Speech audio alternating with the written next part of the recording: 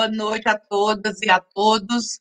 Bem-vindos ao oitavo seminário de História da Tradução e da Tradução Literária. Este evento que vem acontecendo aí desde o dia 11 de novembro e que vai até o dia 20. Esse evento é produzido e organizado pelo Núcleo de Estudo é, pelo Núcleo de Estudos e Ensino em História da Tradução e Tradução Literária da Universidade de Brasília, o NetLit, que é vinculado também ao Postrad, ao nosso programa de pós-graduação em Estudos da Tradução. Esta oitava edição se intitula História da Tradução, Narrativas, é, e acontece sempre aos finais é, dos dias marcados nos eventos. Você encontra toda a publicidade nas nossas mídias, né? Na página do Facebook do Netlit e nos nossos, nas nossas mídias pessoais. Os webinários ficam gravados no canal do Netlit do YouTube, inclusive dos eventos passados. Você pode acompanhar todos eles depois, é, quando não puder assisti-los ao vivo. Para receber certificado, você deve se inscrever durante cada palestra via formulário Google, disponibilizado no chat do YouTube, e é, isso, e fazer perguntas durante a apresentação. Hoje nós teremos dois webinários. O primeiro, que eu vou mediar, se chama Vozes Femininas nas Traduções Brasileiras do Drama Shakespeareano e ele será feito com a professora querida Márcia Martins, da PUC do Rio de Janeiro. O segundo, que será que começará às sete horas, será mediado pelo professor da Universidade Federal do Pará, Tiago Veríssimo. E ele vai apresentar dois professores. O professor Júlio Monteiro, da UNB, do Postrade, que vai falar sobre tradução, retradução em canonicidade, a literatura brasileira em neerlandês, e a professora Carolina Paganini, da Universidade Federal Fluminense, Niterói.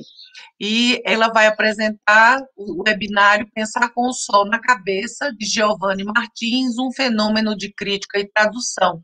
A professora Carolina está com um problema de eletricidade na rua dela, lá em Niterói, houve uma queda lá de um, de um gerador de eletricidade, eles, é, segundo informações que ela conseguiu colher, é, normalmente deve estar tudo arranjado até o horário do seminário dela.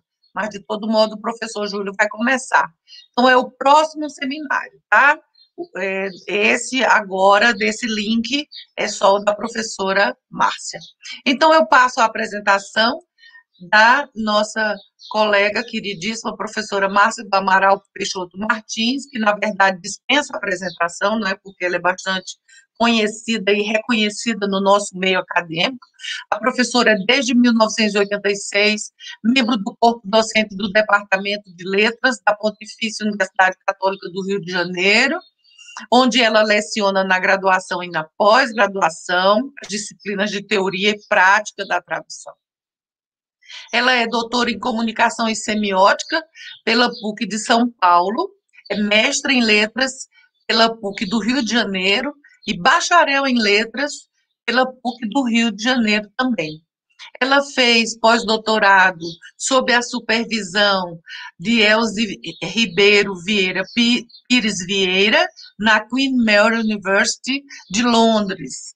Né? E todo mundo sabe que a professora Elze Ribeiro Pires Vieiras é uma das grandes responsáveis pela disseminação é, na Europa da, da teoria da tradução, vamos dizer assim, brasileira, né? pelo menos dos trabalhos que nós fazemos aqui. Os, os principais campos de pesquisa da professora Márcia são a historiografia da tradução e as reescritas brasileiras do cânone dramático shakespeariano. Então, eu vou chamar agora a professora Márcia e. Olá, professora, muito bem-vinda. É um prazer tê-la aqui conosco, mais uma vez, no Seminário de História da Tradução. Obrigada, obrigada, Germana. Boa tarde ou boa noite, né? A boa todos noite, e todas. Aqui, em Brasília ainda é boa tarde, aqui ainda está claro. É. E muito obrigada pelo convite pela organização do evento, junto com a Patrícia e o Rodrigo, esse trio incansável e cheio de ideias. A e gente é... gosta de achar problema. Não, é muito bom.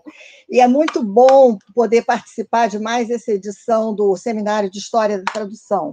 E mesmo a gente não estando lá no, no campus no da UNB, né? maravilhoso. Pois é, mas assim, encontrar os colegas, mesmo virtualmente, é, é muito bom. É muito e bom mesmo. também antecipadamente ao Abimael, que Isso. vai interpretar. Isso, eu queria também.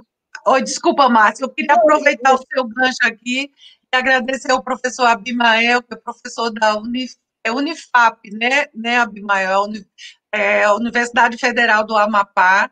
Ele é doutorando da Unesp de Araraquara, está lá em Araraquara nos ajudando aqui, hoje sozinho, porque não tivemos a nossa outra parceira, que é a professora Sofia, dos Anjos, ela vai entrar só um pouquinho mais tarde. É isso, Márcia. Agora a palavra é sua. Ah, tá ótimo, obrigada. Boa palestra. Bom trabalho. Estou aqui nos bastidores. Volto tá na hora das perguntas. Tá ótimo. Então, a, a minha proposta é, vai ser traçar um perfil ainda embrionário tá?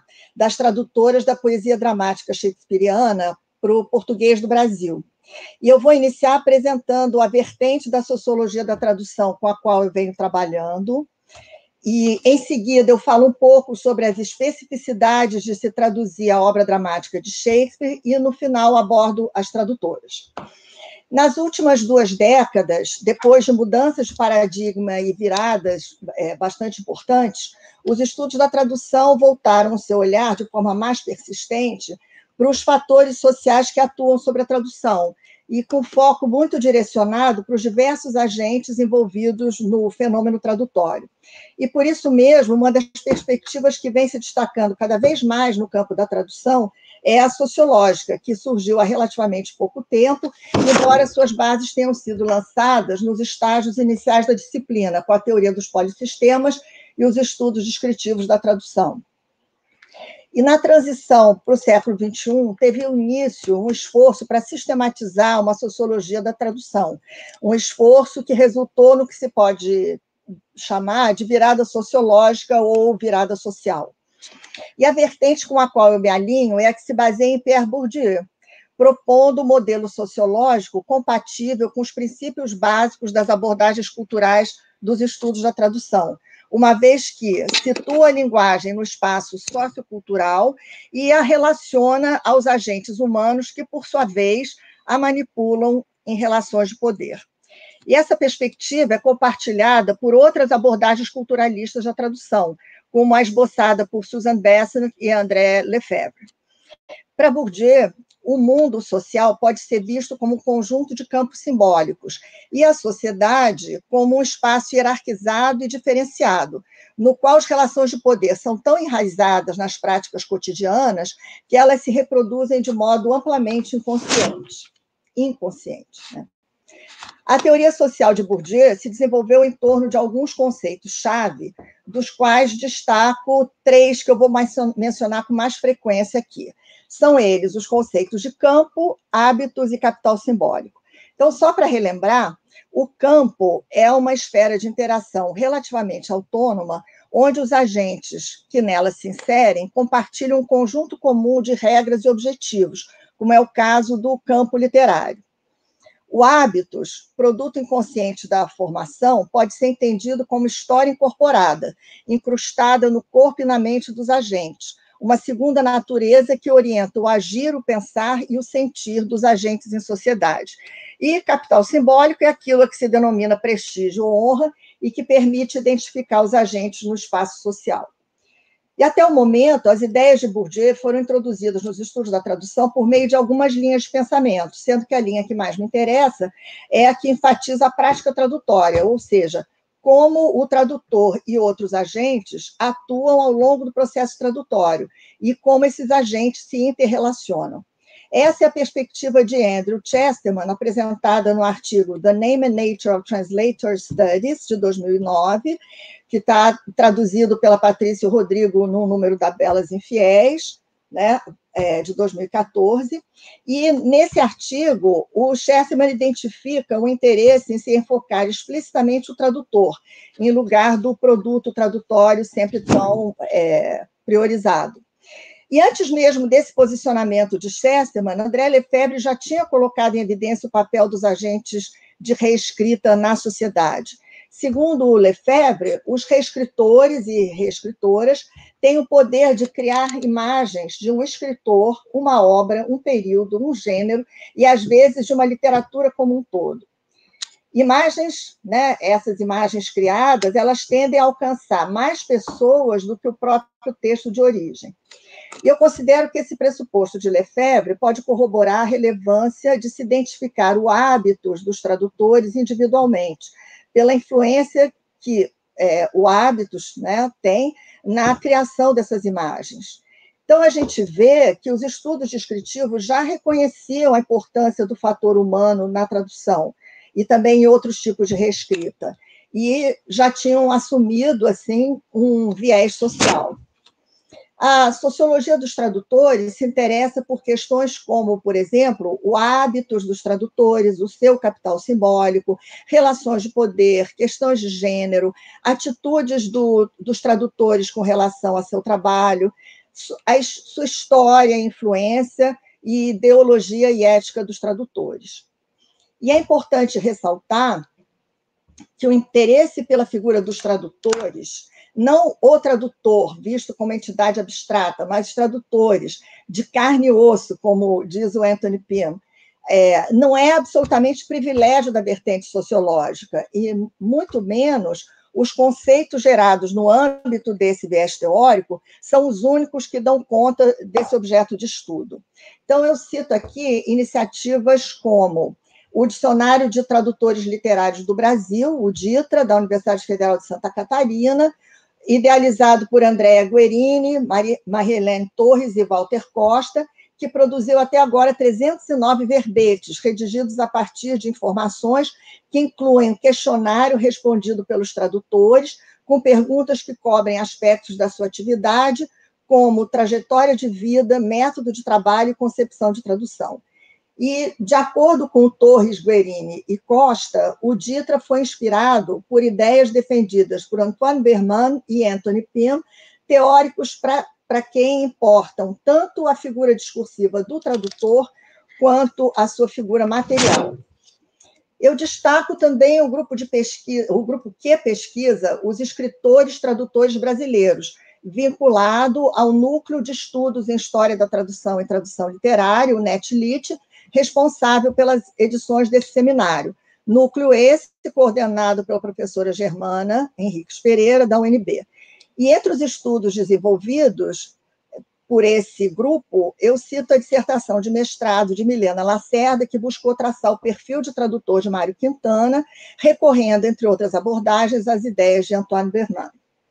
Cito ainda a coleção Palavra de Tradutor, sob a coordenação geral de André Guerini, Dirce Valtric do Amarante, Sérgio Medeiros e Walter Costa, que já tem quatro volumes dedicados aos tradutores Donaldo Schuller, Aurora Bernardini, Paulo Brito e Christopher Stone. Os volumes não seguem exatamente a mesma estrutura, mas é, todos trazem uma entrevista com o tradutor ou tradutora, dados biográficos e excertos de traduções.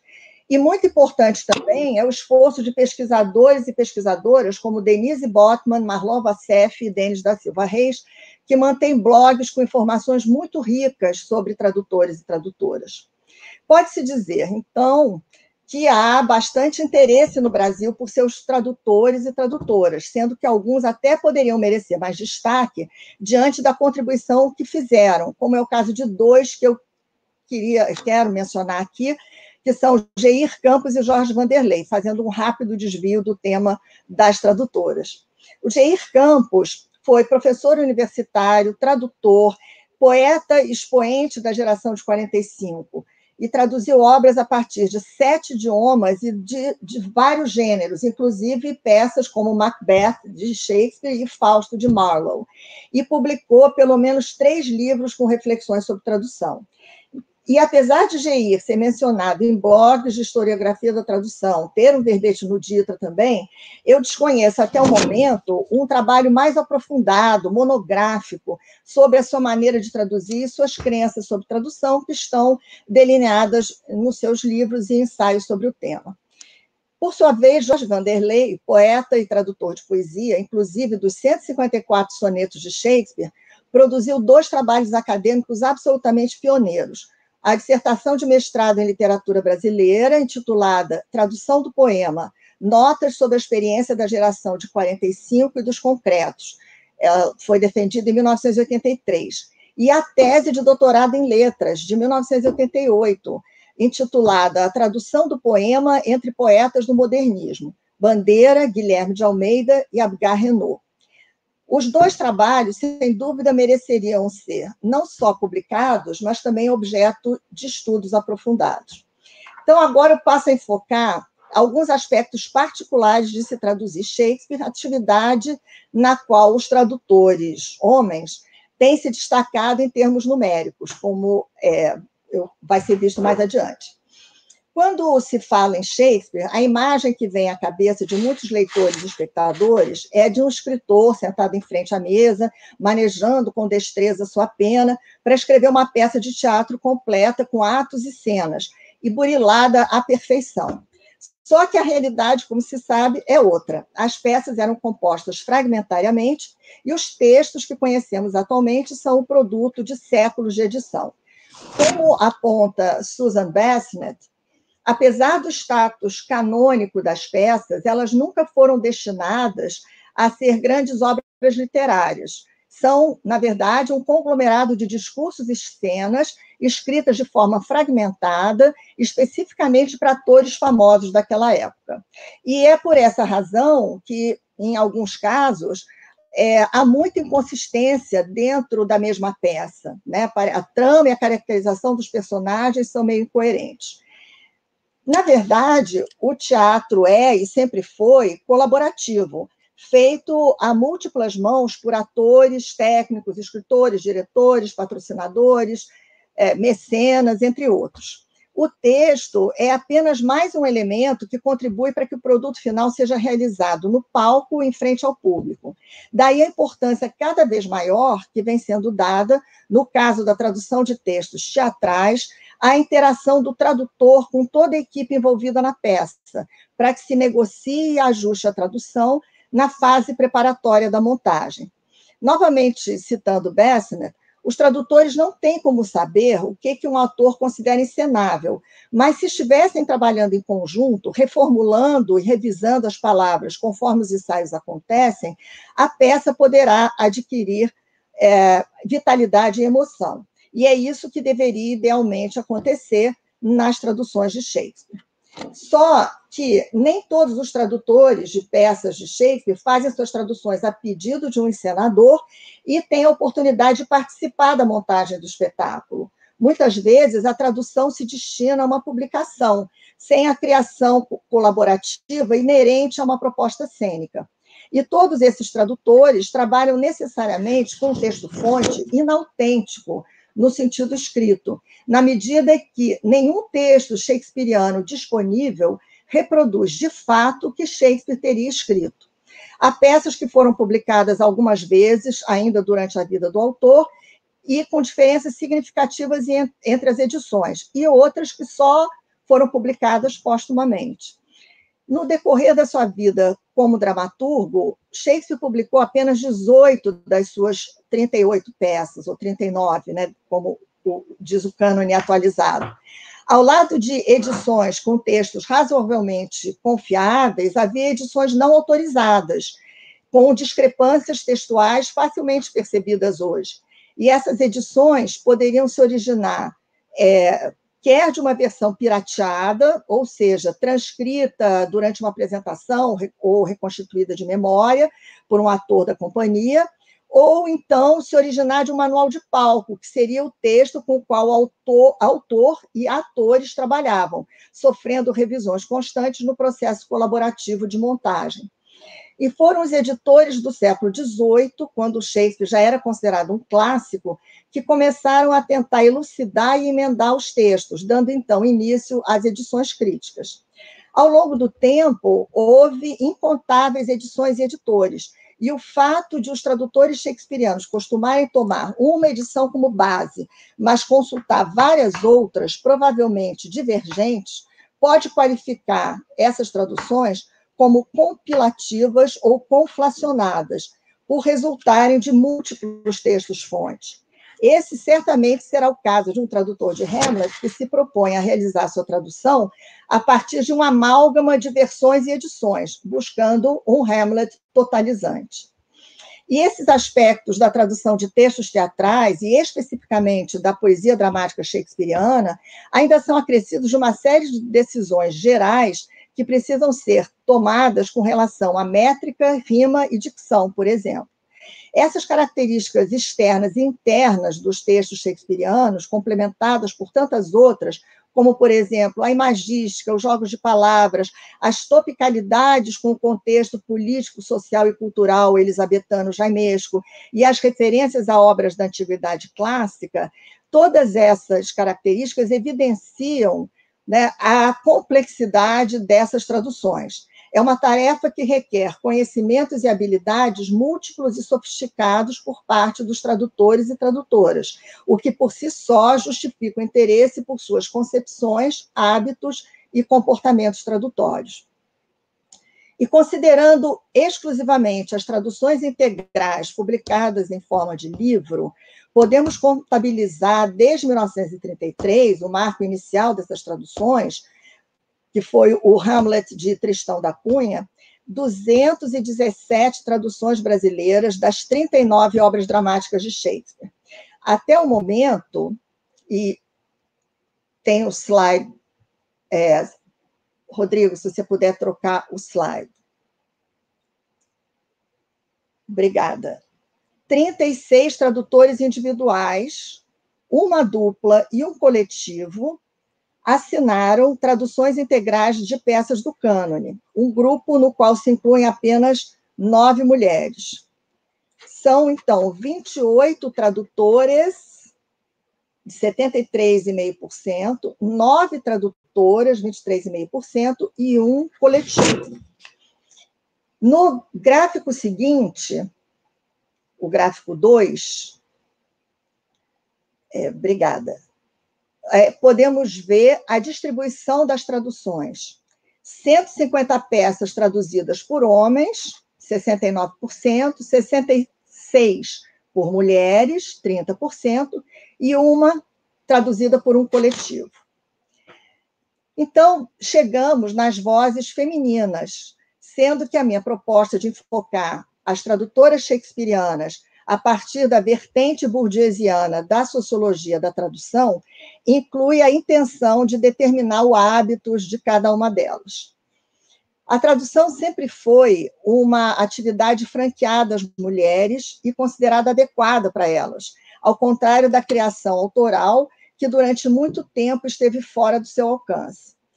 No ensaio de 2011, Susan Bessner diz o seguinte: abre aspas, quando começamos a examinar a história das literaturas no que diz respeito à tradução, é interessante ressaltar o papel desempenhado pelas tradutoras, cujo trabalho frequentemente teve imenso impacto, embora sua contribuição seja, de modo geral, pouco valorizada e seus nomes muitas vezes esquecidos. Fecha aspas. E complementa que, do século XVII à era vitoriana, a tradução parecia oferecer uma oportunidade às mulheres de se libertarem do papel tradicional de anjos da casa e de falar, muitas vezes de forma radical, através da obra de outro escritor. A tradução inauguradora de Tristão da Cunha foi logo seguida por duas de Berenice Xavier, o que poderia criar a expectativa de uma presença marcante das mulheres nesse campo, mas isso não se confirmou. Essa expectativa se justificaria não só pela presença de uma tradutora nos primórdios das traduções integrais das peças de Shakespeare no Brasil, mas também pela força das suas personagens femininas, das personagens shakespearianas. Uma galeria de mulheres maduras, independentemente da idade, sedutoras, decididas, eu gostaria de dizer empoderadas, mas virou um clichê, né? mas é, seria o caso, se aplicaria perfeitamente. E é, entre, essa, é, é, entre essas personagens se destaca, por exemplo, Julieta, possivelmente a primeira adolescente feminista da literatura, e Cleópatra, no outro extremo, né, digamos, do, de, uma, de um eixo etário. É, isso para citar apenas duas. Mas o fato é que, depois dessas duas comédias, somente 30 anos e 51 traduções depois é que uma tradutora assinou novamente um Shakespeare brasileiro, dessa vez Ana Amélia Carneiro de Mendonça, com o seu Hamlet de 1968. Aí temos aqui o, o outro slide com a primeira parte do quadro de tradutoras e as peças que elas traduziram. Esse primeiro quadro mostra a atuação das tradutoras ainda no século XX e as peças traduzidas que publicaram. E assim foram se seguindo traduções sucessivas por poetas, estudiosos, dramaturgos, até que em 1990 foi publicada a primeira tradução de Bárbara Eleodora, que é, traduziu no total 37 peças e é, em seguida, a partir de. Em seguida, não, dez anos depois, praticamente, a partir de 1988, tiveram início as traduções de Beatriz Viegas Faria, que já traduziu para a LPM 21 peças, entre tragédias, comédias e dramas históricos, como se pode ver na continuação do quadro, é no, no próximo slide que. Obrigada. Vou, de, vou deixar aí, assim, só para vocês terem uma ideia, e para. É, essa é a segunda parte do quadro de tradutoras e as peças traduzidas. Né? Então, é, esses quatro nomes que haviam traduzido até então passaram a ter a companhia de Aila de Oliveira Gomes e Marilise Bertin, com duas peças cada, e Aymara Cunha Rezende e Bruna Beber, que traduziram uma peça cada. Ainda é, nos anos 70, Marilande Moraes traduziu uma única peça também. E por uma questão de tempo, eu vou me concentrar aqui em cinco dessas tradutoras, seguindo dois critérios. Um é a disponibilidade de dados, tanto biográficos como é, sobre é, visão, visões de tradução e projeto tradutório, o que é, permite, né, esses dados costumam permitir tecer é, considerações ou mesmo indagações sobre os respectivos hábitos. E por esse critério, então, não vou poder enfocar a Marilande Moraes, tradutora de Lear, nem a Ilha de Oliveira Gomes, professora de língua e literatura inglesa da UFRJ, que também traduziu Lear e depois Conto de Inverno. O segundo critério é simplesmente temporal, então, não contemplando as tradutoras que começaram a atuar a partir de 2010, que são Marilise Bertin e Bruna Beber. Começa, então, por Berenice Xavier. E, durante muito tempo, foi praticamente impossível obter informações sobre ela, até que a tradutora e historiadora da tradução, Denise Botman, supriu essa lacuna no seu blog Não Gosto de Plágio, em 2015. E, por sua vez, essas, essas informações foram a fonte para o verbete do Ditra, postado posteriormente.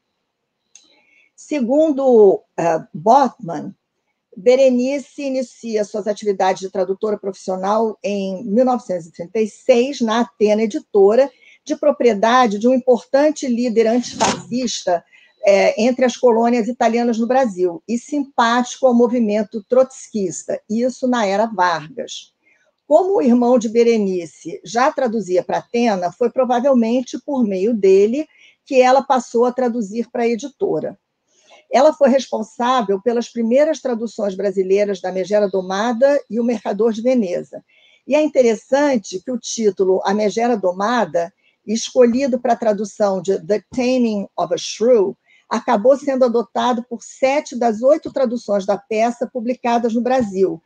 Muito embora esse título não reflita a ideia de processo, no caso, a domação, expressa pelo título original. A exceção é Newton Beleza, que em 77 optou pelo título Amansando Catarina, em convergência com as traduções portuguesas, que são intituladas A Mancia de uma Fúria e O Amansar da Fera. A produção tradutória de Berenice Xavier vai de 36 aos anos 60, contemplando títulos de Dickens, Melville e vários outros né, autores importantes. E com relação à sua concepção de tradução e estratégias tradutórias, eu não tive acesso ainda a outras fontes além das traduções em si. As duas comédias de Shakespeare foram traduzidas integralmente em prosa, seguindo a ortografia da época, anterior à reforma de 43. As falas são concisas, como se espera de um texto teatral, empregando sintaxe predominantemente direta, mas muitas mesóclises e ênclises com contrações, como farmeeis e mostrai-lhe, o que soa bastante datado. Mas o vocabulário, né, por sua vez, é muito acessível, com palavras que estão em uso até hoje. Não tem arcaísmos nessa, nesse, nesse léxico. E também não consegui obter ainda informações como foi a escolha das duas peças traduzidas. Se por sugestão da própria tradutora, o que indicaria um interesse maior por determinados gêneros, temas, tramas e até agendas implícitas ou explícitas, ou por decisão de outros agentes. De qualquer forma, diante de uma tradutora descrita por Denise Botman como simpatizante trotskista, seria natural que ela se interessasse não por traduzir comédias de Shakespeare, mas sim seus dramas históricos, como Ricardo III, Henrique IV, em que a política é um tema central, ou mesmo as peças romanas, como Coriolano e Júlio César, em que Shakespeare discute questões como conspirações, ascensão de tiranos, a truculência do poder, o que permite a alegorização de situações contemporâneas.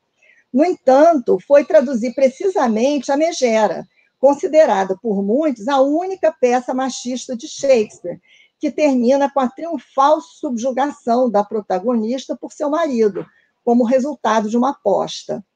É evidente que essa escolha pode ter sido decorrente de uma série de fatores, independente da vontade da tradutora, mas, por outro lado, não há como não notar a ironia da situação. Eu passo agora, então, a enfocar Ana Amélia Carneiro de Mendonça, uma intelectual que, nascida em 1896, quando as, mulheres brasileiras não votavam, não dirigiam automóveis, nem estudavam universidades, foi uma verdadeira revolucionária dos costumes. Tinha uma personalidade considerada fascinante.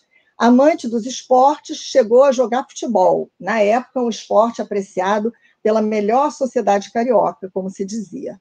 Aventureira, atravessou a Europa, o Oriente e a África de carro e trem feminista, atuou em defesa dos direitos das mulheres e nas iniciativas promovidas pela Federação Brasileira pelo Progresso Feminino, e foi a primeira mulher a integrar o Tribunal Eleitoral.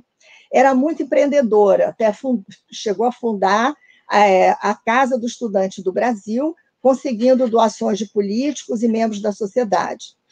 Poeta parnasiana, publicou seu primeiro livro de poesia aos 14 anos e traduziu poemas de várias línguas.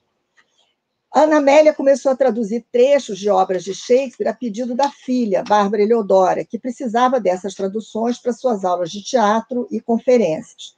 Mais adiante, ela se animou também por solicitação da filha, a traduzir em prosa e versos decassílabos Hamlet e Ricardo III, publicadas, respectivamente, em 68 e 93. Nessas traduções, ela buscou uma linguagem acessível para permitir uma compreensão imediata por parte do público, como o próprio Shakespeare se preocupou em fazer na sua época. Mas, ao mesmo tempo, ela procurou evitar tanto o extremo de uma dicção arcaizante, quanto o de uma atualidade excessiva, com regionalismos ou coloquialismos transitórios, segundo o paratexto de uma edição. Ana Amélia foi uma poeta que, na sua versão tradutora, se preocupou fundamentalmente em preservar ou recriar a poesia de Shakespeare, em uma atuação para a qual o seu hábitos a conduziu. Apesar de todo o engajamento com causas sociais e feministas, não há evidências para se atribuir a escolha dessas duas peças especificamente a essa agenda. Até porque a própria Bárbara afirmou que as traduções foram feitas é, para atender a necessidades é, dela própria, Bárbara, nas suas aulas. Os diferentes excertos, como o Soneto do Peregrino, de Romeu e Julieta, que eu vou compartilhar com vocês, pois é uma unanimidade em termos de tradução inspirada, então, se o Rodrigo puder passar para o próximo slide. É, eu não vou ler, eu só vou compartilhar, porque é belíssimo. Esses excertos foram posteriormente incorporados por Bárbara Eleodora a, quando ela passou, ela, Bárbara, passou a publicar suas próprias traduções. Então, a gente tem aqui uma simbiose interessante. Vários fragmentos traduzidos por Ana Amélia estão é, incorporados, mesclados às traduções assinadas por Bárbara Eleodora, assim como as duas peças integralmente traduzidas por Ana Amélia e que nas edições recentes levam a assinatura de ambas, após uma revisão para atualizar um pouco o texto, frequentemente constam como traduções de Bárbara Eleodora nos catálogos de editoras, bibliotecas e livrarias e é costumeiro dizer que Bárbara Eleodora traduziu todo o cânone shakespeariano. Então, tem essa simbiose entre as duas. Indo da mãe para a filha, chegamos a Eleodora Carneiro de Mendonça, reconhecidamente uma das maiores autoridades na obra shakespeariana. Ela adotou o nome de autora né, de Bárbara Eleodora, inspirada em uma, em uma poeta e ativista política do século XVIII, no que pode ser uma indicação de postura feminista de sua parte, seguindo a tradição da mãe. Começou a traduzir Shakespeare no final dos anos 70, mas a sua familiaridade com o autor teve início bem mais cedo, aos 12 anos, quando recebeu da mãe um volume de obras completas de Shakespeare no original. A Bárbara cresceu num ambiente de forte apelo à intelectualidade. Né? Como relata em entrevista, seus pais liam muito e havia sempre um ambiente é, muito propício à, à, cultura e à leitura e à literatura na, na, na, na sua casa. E o amor pelo teatro também surgiu cedo, ainda criança, e se aprofundou quando foi terminar a graduação nos Estados Unidos, na área de língua e literatura inglesa, e privilegiou cursos ligados a teatro, história do teatro, teatro contemporâneo e, sobretudo, Shakespeare. Alguns anos depois do seu retorno ao Brasil, ingressou na Escola de Teatro Tablado e chegando a atuar como atriz e diretora. Tornar-se professora de teatro foi então um caminho natural, que também levou para a levou, né, para a crítica teatral, uma atividade que exerceu ininterruptamente por 28 anos após a sua aposentadoria na universidade. E perpassando toda essa trajetória de vida que moldou os seus hábitos, esteve a tradução, predominantemente voltada para textos de Shakespeare e sobre Shakespeare.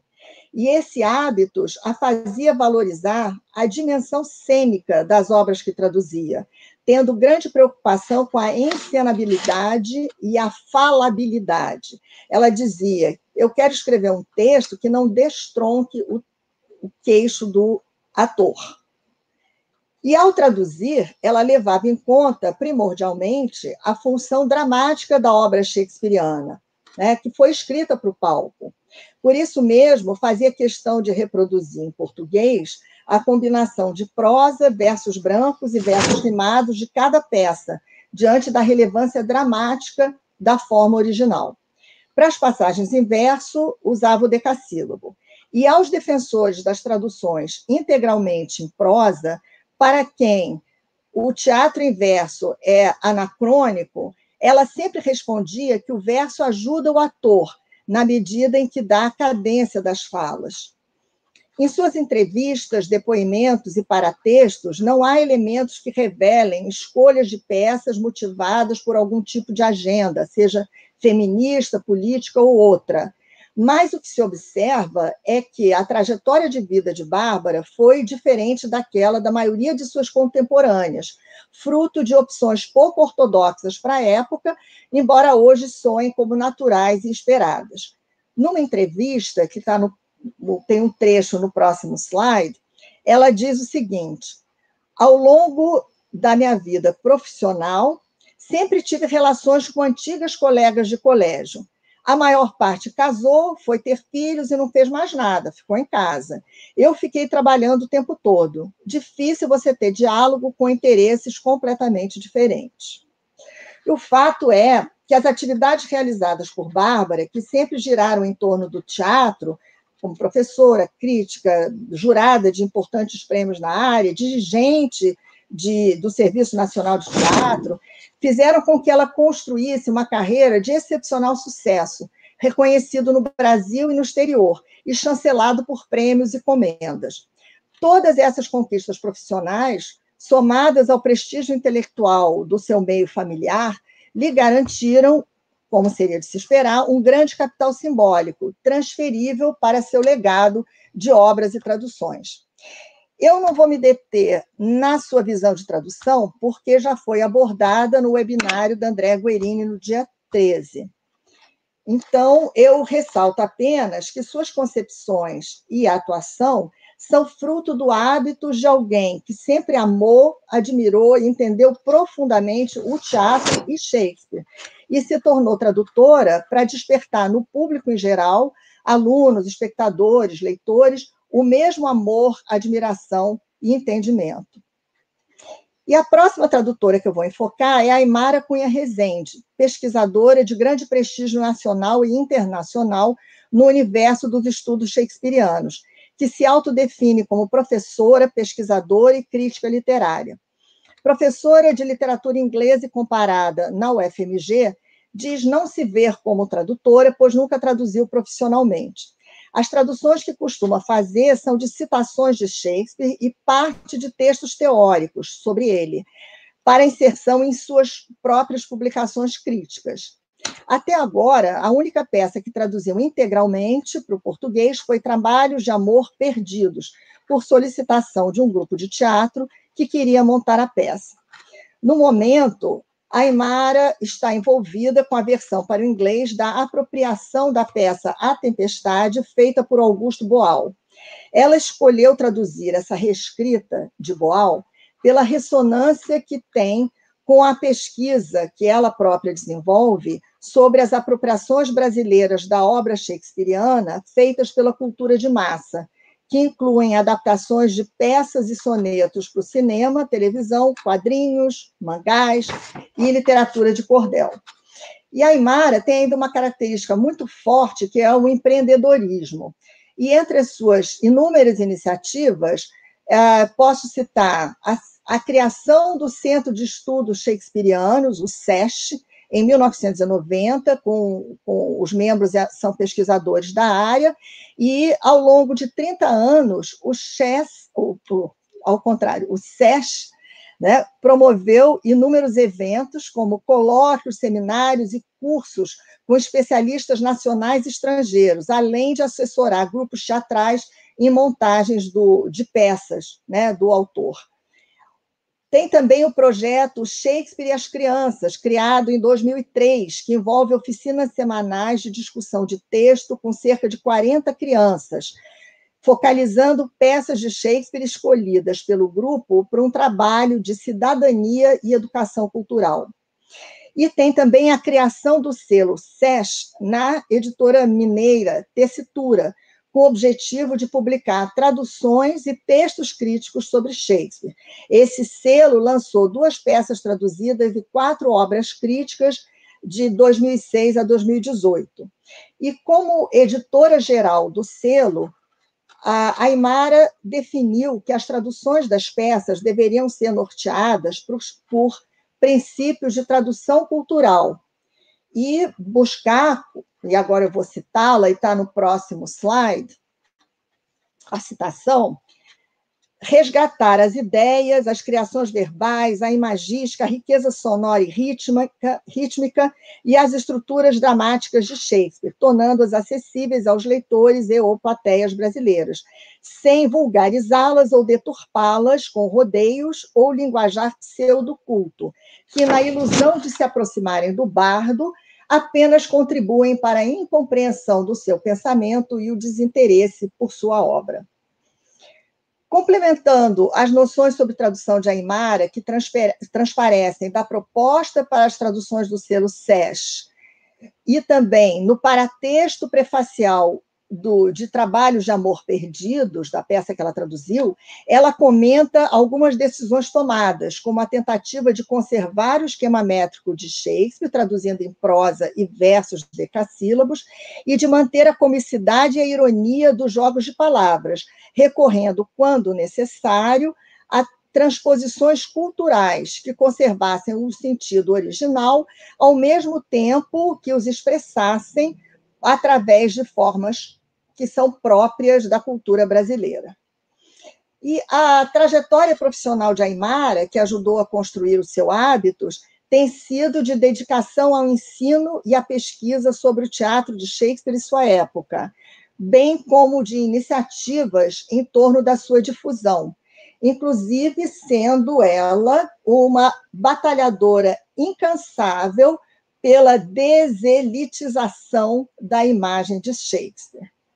E esse hábitos que vem formando suas traduções agrega ainda elementos de uma forte consciência política e do papel da mulher na sociedade. E ela diz, a respeito da sua tradução de Trabalhos de Amor Perdidos, conforme está no próximo slide,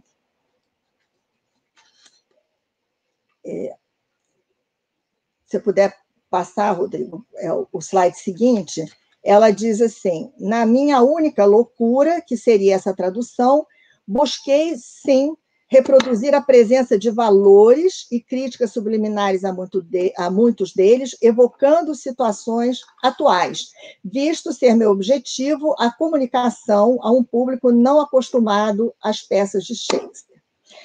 E ela diz também: a atitude constante de Shakespeare em relação à superioridade da inteligência feminina, em especial nas comédias, é evidente em trabalhos, e eu jamais poderia perder de vista esse fato. E eu chego, então, à última voz feminina enfocada ou evocada aqui, que é a de Beatriz Viegas Faria. A Beatriz é, é, é tradutora formada pela Universidade Federal do Rio Grande do Sul, com mestrado e doutorado na área de tradução de Shakespeare. Integra o corpo docente do Bacharelado em Letras Tradução da Universidade Federal de Pelotas e há duas décadas vem ministrando cursos e oficinas de tradução, tradução teatral e Shakespeare. Portanto, tanto a sua formação como a sua atuação profissional são voltadas predominantemente para Shakespeare. E depois de alguns anos de atividade como tradutora de textos de ficção e teatrais, começou a traduzir Shakespeare em 1997, com Romeu e Julieta, a convite da editora LPM, que queria publicar mais títulos além dos quatro traduzidos por Milor Fernandes. Desde então, traduziu 21 peças, várias delas encenadas por grupos brasileiros de teatro. E ela se preparou para fazer essas traduções do projeto da LPM, desenvolvendo uma vasta pesquisa a partir de edições anotadas em língua inglesa, outras traduções das peças para a língua portuguesa e, claro, estudos sobre Shakespeare e o teatro elisabetano. A sua inquietação principal como tradutora reside nas dificuldades do subtexto, as linhas, os não ditos, os pressupostos, os subentendidos. E tem sido, especialmente nos estudos de semântica e pragmática, que costuma encontrar algumas respostas teóricas a questões até então irrespondidas da prática tradutória. Logo de saída, né, quando iniciou-se esse projeto, ela decidiu traduzir em prosa, para não ficar engessada, palavras dela, engessada na métrica, uma vez que desejava se espalhar, né, desejava espaço para lidar a seu modo com trocadilhos, por exemplo. Ela diz que, uma vez livre das restrições de, da versificação, pode usar de todos os recursos para tentar manter no português de hoje o máximo possível das várias camadas de significação encontradas nos versos da dramaturgia de Shakespeare, conforme as vai identificando, graças aos estudos shakespearianos. Para esse fim, procura encontrar soluções que veiculem as mesmas entrelinhas, preservando-as como subentendidos. Essa preocupação e as soluções dela decorrentes revelam a fundamentação teórica que se origina da formação de Beatriz como semanticista. E ela faz também a seguinte observação sobre o seu comportamento como tradutora, e está, é, está nesse slide, que já está aí. Existe também o meu jeito próprio de escrever. Eu tenho contos e poemas publicados, que interfere no processo tradutório exatamente no sentido de não interferir no texto do autor estrangeiro. É também por ser escritora que consigo reconhecer no trabalho de outro autor as técnicas de composição. E é possível perceber é, o papel que tem a formação de Beatriz como semanticista e as suas facetas de poeta e escritora na constituição do seu hábitos. Os prefácios de sua autoria, que vem complementando as edições mais recentes das peças traduzidas, bem como as entrevistas que concede, são iluminadores quanto à sua visão de tradução em geral, de tradução de Shakespeare e dos seus objetivos e estratégias nesse tipo de tradução. Nos dois próximos slides, ela, ela elabora a sua visão de tradução, como vocês poderão ler. Eu vou deixar para vocês lerem é, se você puder mudar, Rodrigo, o, o próximo slide, passar para o próximo slide. E a sua metalinguagem sobre tradução é muito bem elaborada e detalhada, detendo-se sobre diversas questões de tradução diacrônica que afetam, em particular, o trabalho com os textos shakespearianos. Uma delas, bastante importante, diz respeito ao vocabulário. Como se sabe, Shakespeare criou mais de duas mil palavras e expressões. Né? E a Beatriz dá como exemplo o termo coração de pedra, que foi cunhado por ele em Noite de Reis. Não existia antes na língua inglesa, mas hoje é uma expressão conhecida em várias línguas. Aí Beatriz pergunta, ou se pergunta, o que fazer na tradução? Repetir a expressão que hoje é um grande clichê, provocando um efeito estético oposto, ou inventar em português, como Shakespeare inventou em inglês? Complicado, não? Ela pergunta.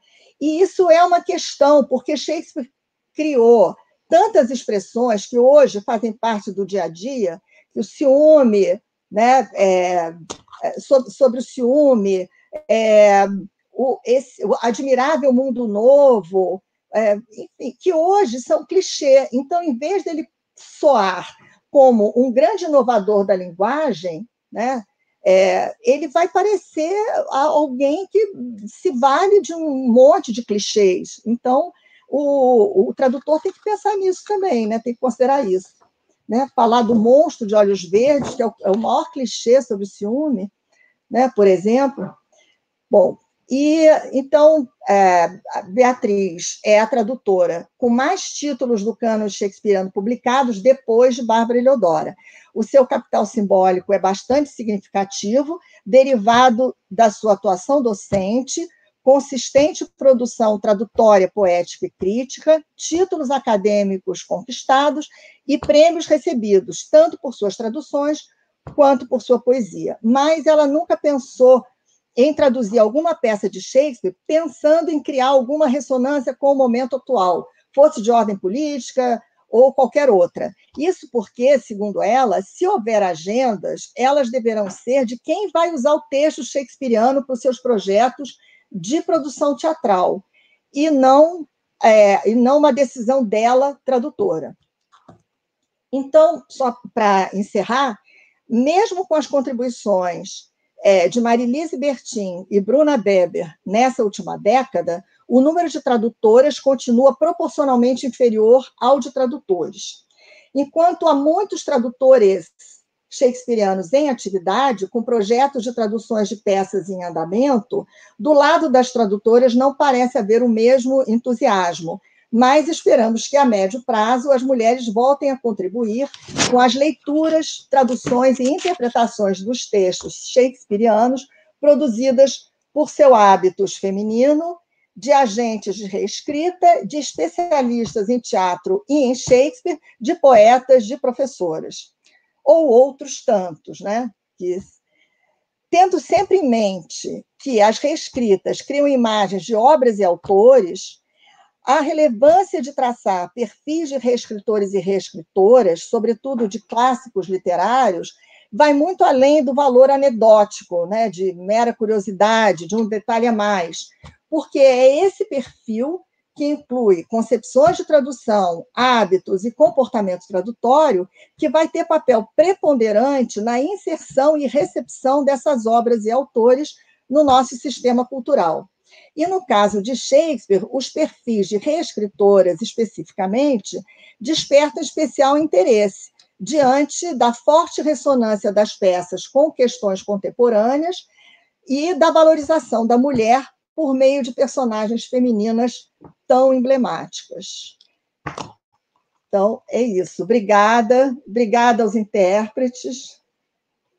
Ah, desculpe se eu me apressei um pouco. Foi mais...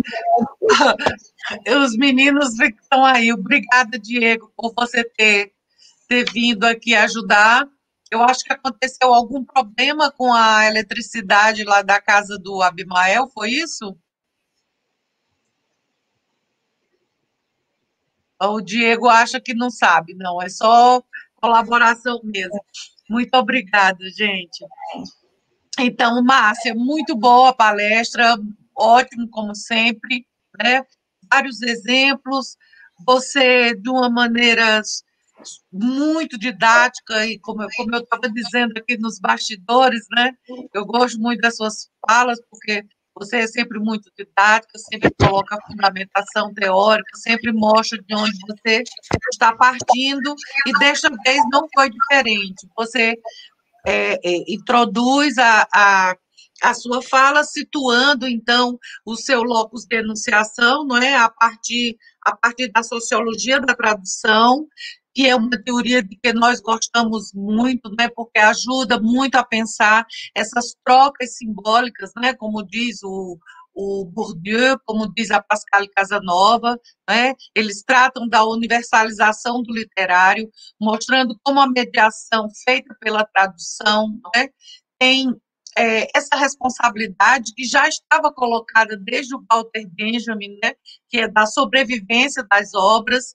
Então, a gente tem também esse cânone shakespeariano, que é feito não só das obras originais, mas como de todos os grandes clássicos, feitos também pelas traduções, né? E isso é um trabalho super interessante, super rico, porque realmente traz a historicidade é, das traduções, né? E de como elas são importantes para a teoria da literatura, como elas são fundamentais para a história e para a crítica literária, não é, Márcia?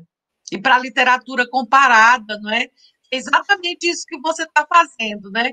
um trabalho maravilhoso de sociologia da literatura e de sociologia da, da tradução.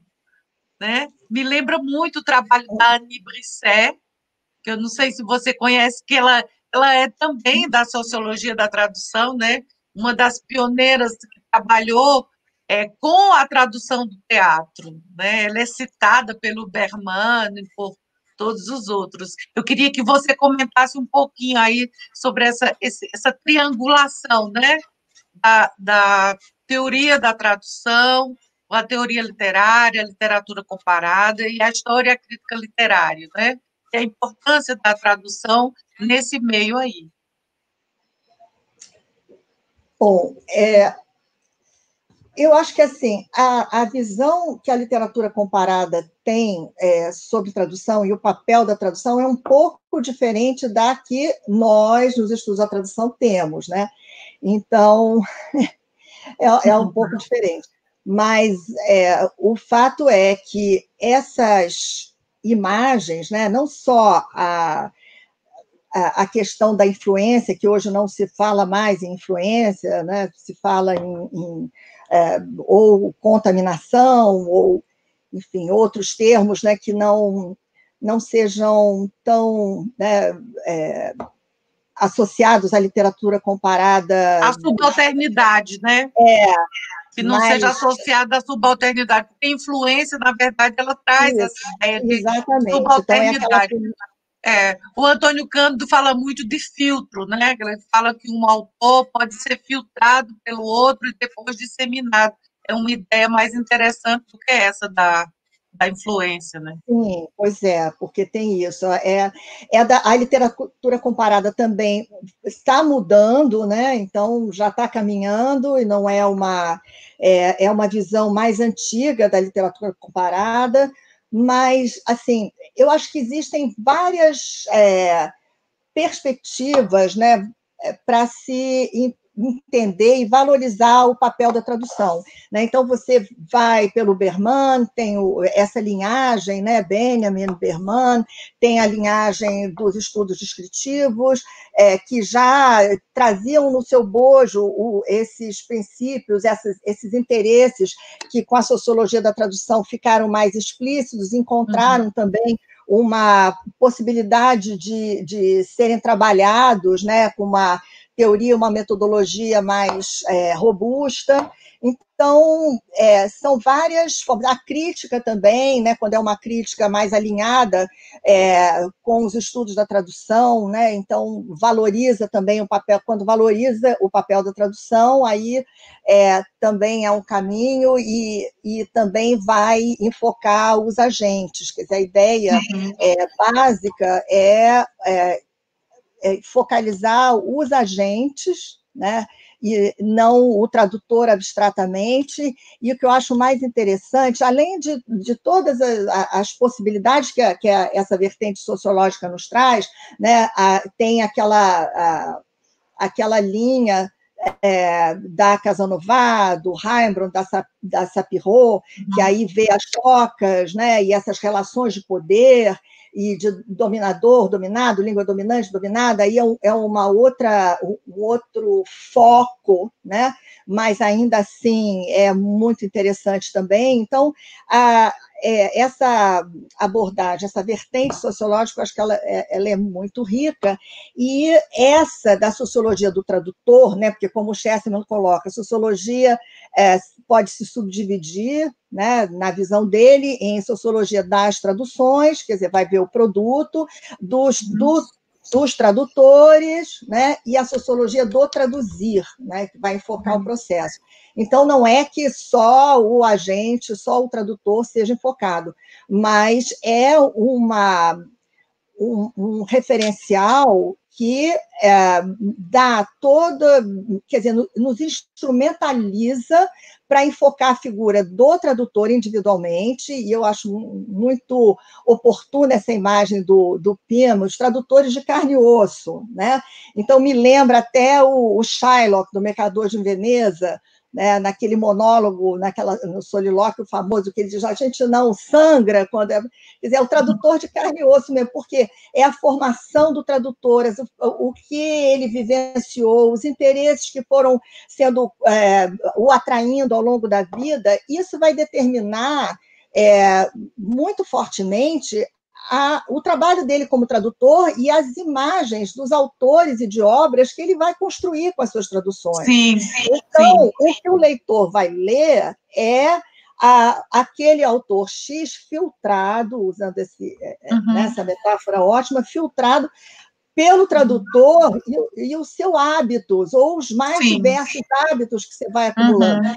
Então, é, é, é, essa eu acho que é a, a o que atrai né, na sociologia da tradução, né, nas diferentes vertentes. Sim. No Berman, no Pour une critique, aquele por uma crítica, um esboço né, da tradução, ele, ele faz isso, ele junta né, a crítica que já, que já tinha sido elaborada, exatamente ele vai pegar a Anne Brisset, que é a da uhum. sociologia da tradução, é, o, o Polissistemas, e o Mechonic, que são os três que ele considera que desenvolveram melhor essa crítica da tradução e análise das obras literárias traduzidas e a análise dos perfis de tradutores.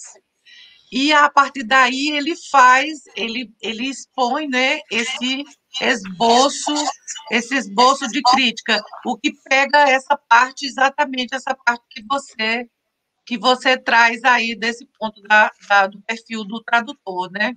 Só que é. ele usa ele, ele usa a parte de crítica de tradução junto.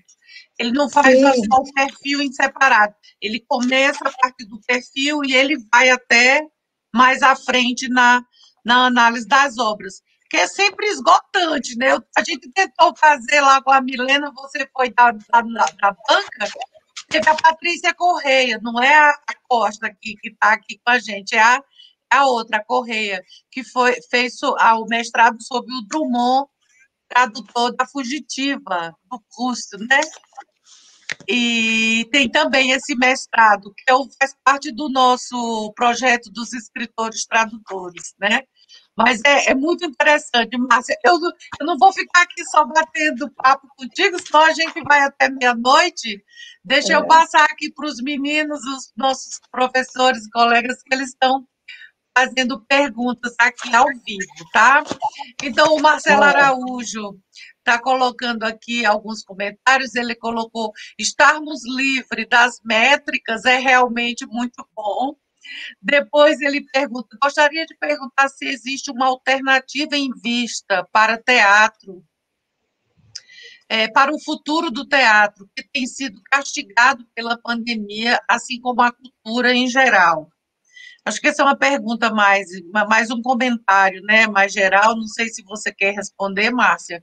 Não, você... eu queria, é, eu até estou é, muito bem impressionada, assim como é, outras pessoas com é, o vigor do teatro na época da pandemia, porque é, eles estão promovendo apresentações é. é.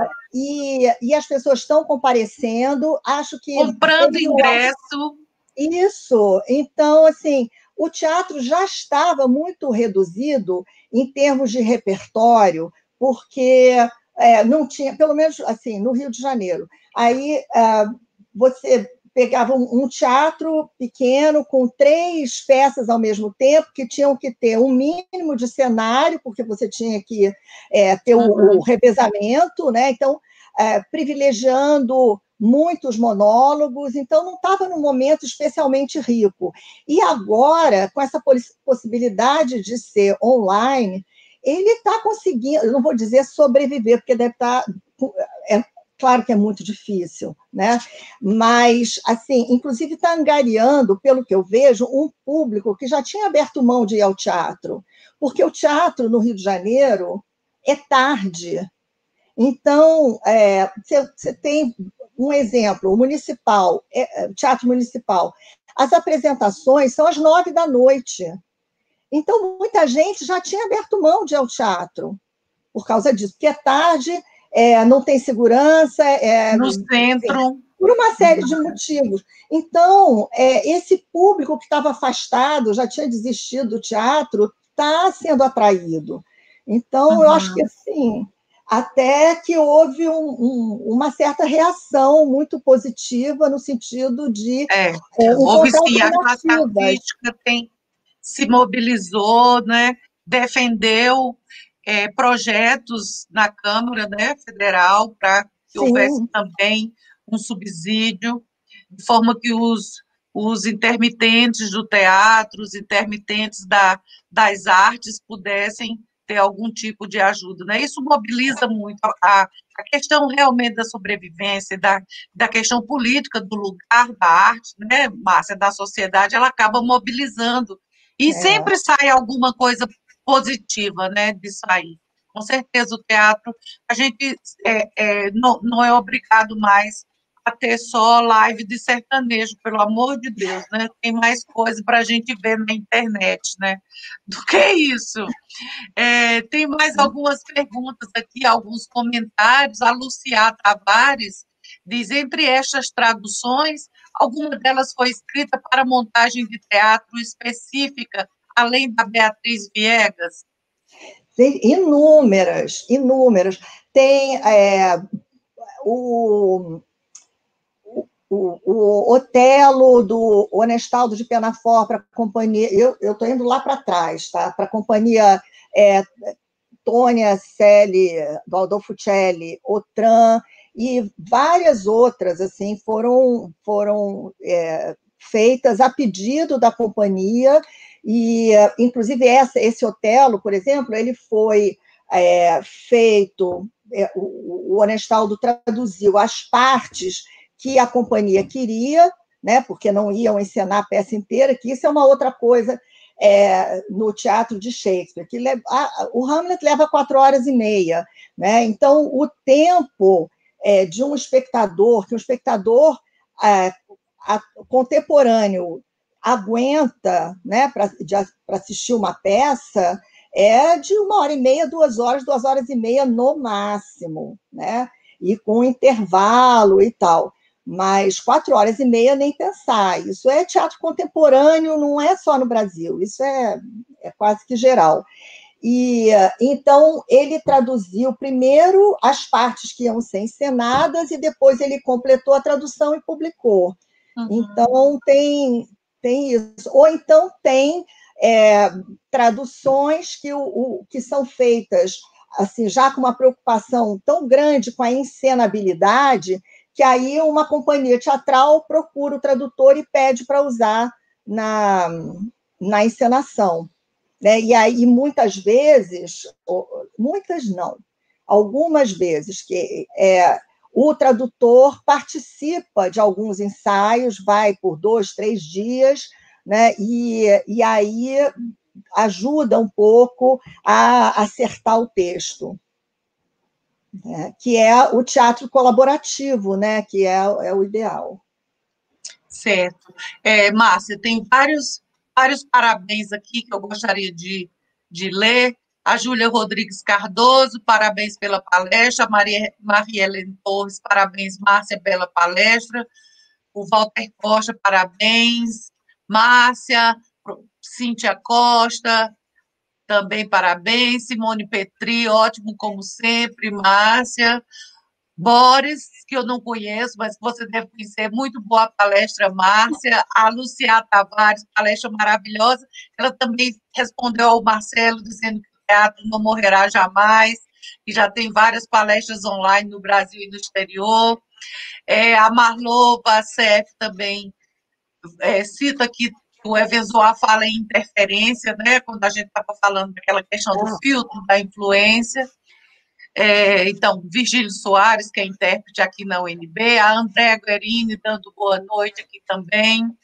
Bom, várias pessoas aqui, deixa eu ver se tem mais. A Cleide Lemos, foi muito instrutivo te ouvir, parabéns. Deixa eu ver se eu estou esquecendo alguém, gente a Lucia, a pandemia está propiciando diálogos muito importantes entre é, diálogos muito importantes, grupos e artistas que não dialogariam é, estão em processo criativo. Pronto, agora eu já posso ler aqui nessa plataforma aqui, em vez de ler aqui na lateral no YouTube. Eu fico com o StreamYard numa tela e o YouTube na outra, para eu ver o que é está acontecendo. Bom, gente, eu acho que foram essas as perguntas. Eu acho que eu não que eu não me enganei aqui nos comentários. É, Márcia, é, sim, eu entendi a questão da, da, literatura comparada. Eu acho que o problema é mais deles do que nosso. Né? Quando eu digo, e eu nisso eu concordo com a Susan Bassett, que eu acho que também você faz referência a isso, né? Os estudos da tradução, a gente tem as nossas idiosincrasias, os nossos paradigmas, né? Nossa epistemologia, cada vez mais, já há 50 anos, já é, a gente pode dizer bastante bem estabelecida, a gente não precisa pleitear a, a literatura comparada. Só que, do meu ponto de vista, né, e eu falo isso assim, baseado no comparatismo de Antônio Cândido, é, ele incorpora o, a tradução está lá, né, no texto os primeiros Baudelaireanos, poderia fazer os primeiros shakespearianos. Estou vendo aqui o livro da ou as primeiras shakespearianas aqui da brasileiras da Márcia, né? O livrinho Márcia, que eu acho que pode servir de inspiração para você, se com certeza você conhece melhor do que eu, né? Já deve ter lido. Isso aqui é a tradução tem um capítulo todinho que chama Shakespeare e a Europa Continental, falando da, de como as traduções francesas influenciaram as, as outras traduções, né? Fala do Voltaire. Enfim, é um tema tão apaixonante, né? Eu espero que a gente tenha a oportunidade de você voltar depois com esse projeto, já é mais adiantado aí, com mais com mais informação das você pegou oito, não é? Oito mulheres agora, foi isso? O número é, certo? Eu, é, na verdade, são apenas nove. nove. É, em toda a história das traduções é, de Shakespeare para o português do Brasil, e eu é, abordei cinco porque eu ah, não consegui sim, ainda, sim. porque para é, o que tem que se fazer é como a, a Denise Botman faz, ela localiza uma sobrinha. Ela faz arquivo, né? É, é, ela faz arquivo, arquivologia. É, e, e, e aí é um que... trabalho imenso, né? Leva muito tempo. Sim, e localizar, sobretudo né, essas, esses tradutores, localizar pessoas da família. O Cunha Medeiros, que traduziu o cânone completo, junto com o Oscar Mendes, é, eu consegui localizar é, as irmãs dele, elas vieram na minha casa, tomamos chá, e aí elas trouxeram um álbum do Cunha Medeiros e pequenininho. Então você vai assim, é, tendo que garimpar, não só numa em hemerotecas, é uma arqueologia pois é, mas você tem que procurar pessoas da família, os herdeiros, e aí tentar, pra, até para descobrir essas coisas, que edição ele usou, se ele não mencionou, é, no, na, na edição traduzida não está mencionada a edição original, enfim. Então, essas coisas. Mas foi é um prazer, muito obrigada. Foi, o prazer foi todo parabéns, nosso. Então, parabéns a vocês. colegas para te dar os parabéns é, pela, pela pesquisa maravilhosa e pela sua apresentação. Agradecer a parceria que nós temos, né? Já pois de algum é, tempo aqui no Sede Trad, você é a nossa colega é. que trabalha também com literatura, história da tradução é. e ensino. Isso é muito bom, tá? Em todas as vertentes, pela sua grande experiência na PUC do Rio de Janeiro, que é uma referência para todos nós. Aproveitamos para agradecer aos nossos colegas professores e intérpretes de Libras, hum. professor Abimael, da Unifap, e SOS Amapá, muito bem. Nós também, Abimael, vamos brigar pelo nosso Amapá. Ele tem que ter esse, esses geradores, eu estou lá na torcida, os, os geradores estão chegando, para que nunca mais aconteça o absurdo de colocar a população de uma cidade inteirinha como Macapá sem água, sem eletricidade, sem internet, sem comunicação com o país, uma estrada toda é, de terra, não, a comunicação é feita somente de barco ou de avião. Então, SOS Amapá, e vamos aprender a votar, minha gente, vamos aprender a votar. escolheu nossos governantes. Um, um abração para o Diego, que está aqui nos bastidores, professor da UFG. Um abraço para a Patrícia e para o Rodrigo. Obrigada mais uma vez. E nós vamos sair, então, desse link, dessa live, para a gente entrar na próxima com os professores Júlio Monteiro, aqui da UNB do Postrade, Carolina Paganini, UFF. Espero que lá em Niterói a situação elétrica dela também esteja resolvida. E com a mediação de Tiago Veríssimo, da Federal do Pará. Ok? Até já, então, pessoal. Um grande